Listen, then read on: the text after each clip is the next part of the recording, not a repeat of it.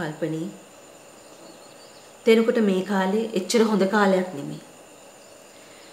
ඒ නිසා තෙනක තව ටික කාලයක් සිංගප්පූරුවේ හිටියට කමක් නැහැ.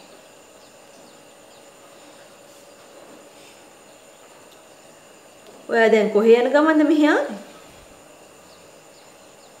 ඒ කිව්වේ ආන්ටි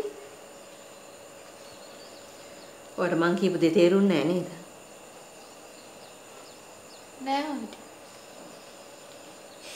ඔයා ගෙදර ඉඳන්ම කෙලින්ම ආවේ මෙහෙද? ඔව් ආන්ටි. බොරු කියන්න එපා.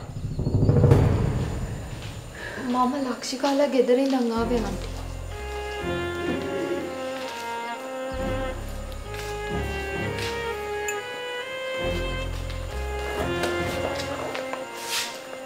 මේ දවස්වල මගේ තනියට ඉන්නේ ලක්ෂිකා.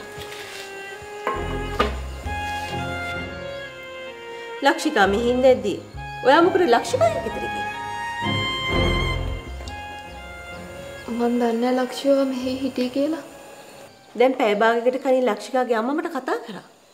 එයා කිව්වේ නෑනේ ඔයා ආවයි කියලා. ආ. ආන්ටිට අමතක වෙන්නේ. අමතක වෙන්නේ නැති. හරි ලස්සනයි. හොඳට බොරු ගොතලා කියනවා.